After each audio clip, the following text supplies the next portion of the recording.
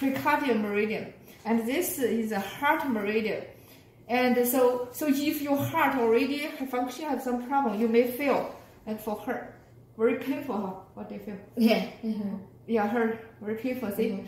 huh? And also here at the armpit, very painful too, right? Yeah.